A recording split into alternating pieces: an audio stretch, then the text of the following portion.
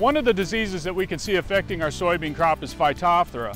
And Phytophthora root and stem rot is a disease that we can see affecting the crop at the seedling stage as well as any stage of development.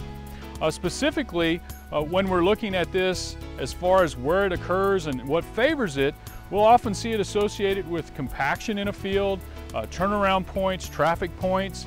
Many times we'll see it in low areas of the field uh, where we'll have uh, uh, maybe some flooding. It is favored by really wet conditions.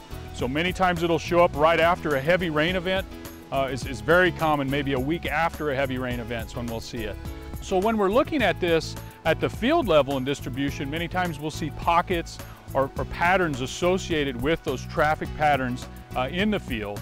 And if a field has a more uniform uh, lie to it, and we're looking at a field that has a lot of clay content and more fine textured soils, we may see it scattered across the field. Now, when we're looking at that individual area that's being affected, when we're, we're looking at the row area, we'll see some plants clustered, maybe a few dead plants together. Um, we'll see healthy plants mixed in there. So we won't see uh, every plant in a zone affected. We'll see a, a, a variation in that row, uh, which is typical with many of our, our soil-associated fungal diseases. So in a, in a pocket or patch in the field, then we come into the row, we'll see a few plants scattered throughout. Now, if we're looking at the actual individual plants that are dying, uh, specifically at the seedling stage, we're gonna have that discoloration at the base of the plant working its way up. Now, we want to see that dark discoloration up past that first, those cotyledons, where that purple line usually stops on those varieties. Now, as we mature in the crop, as it continues to develop, we'll still see that exterior discoloration. And even in our mid reproductive stages, we can still see those brown stem bases.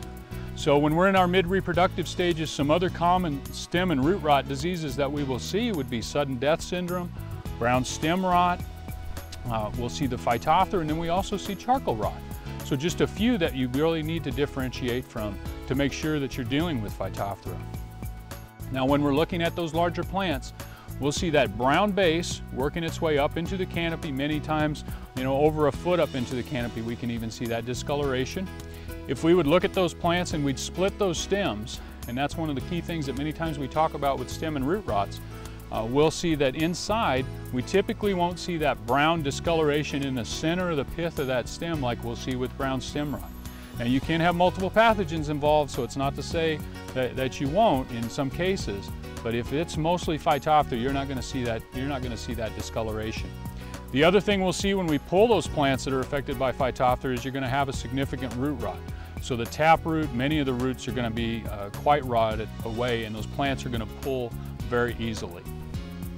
So uh, additional things to consider when you're scouting a field and looking for a Phytophthora, if you're a producer that has irrigated soybeans and you particularly have a pivot uh, or an area in the field where you have some drainage water collect, those are areas where many times we'll see those plants in those mid-reproductive stages being affected.